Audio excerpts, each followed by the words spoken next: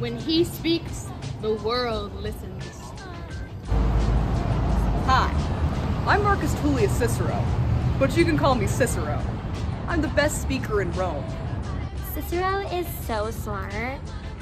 Cicero is an accomplished lawyer, politician, and philosopher. This is Catiline. He made an unsuccessful attempt to overthrow the Roman uh, Republic. You wouldn't want a king, would you? Cicero is a strong believer in the Roman Republic.